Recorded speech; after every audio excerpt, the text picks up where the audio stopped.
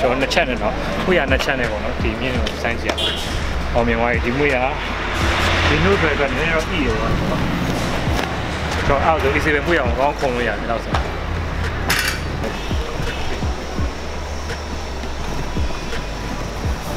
အဲကျန်ချက်တဲ့မူသွားပြီတစ်ချက်တစ်ချက်ပါသွားတယ်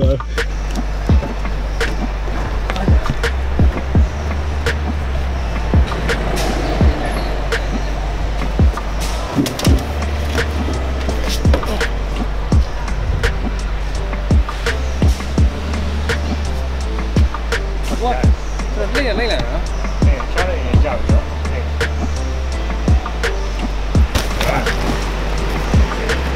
ကျန်အားပြီနော်对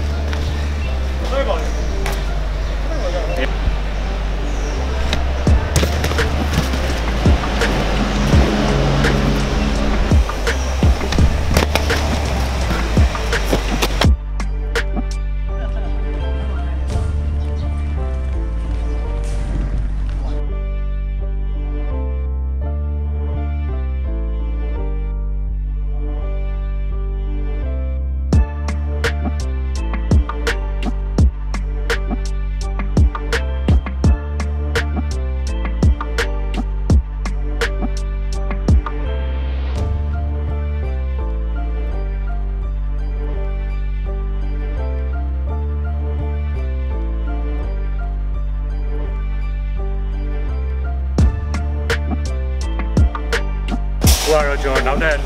နေရာတစ်ခုမှထပ်ပြီးတော့ဒီမွေရရဲ့ခဏရအောင်ဆမ်းမှာဖြစ်တယ်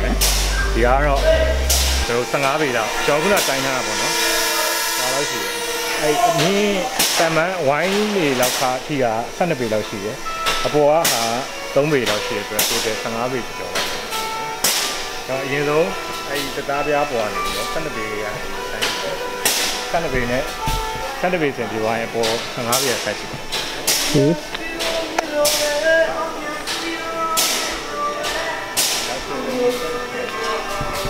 ဒါဆိုတိုက်ခန်းနေမှာဆိုမရှိဘူးဆိုလို့ရှိရင်နှစ်ထပ်တိုက်ပေါ့နော်နှစ်ထပ်တိုက်မြင်တော့မရှိဘူးအာမရှိဘူးအတိအတိဆိုရင်နှ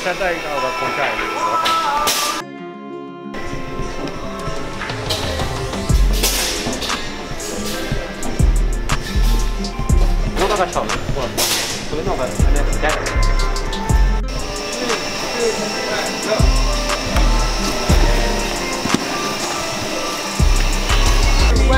ထ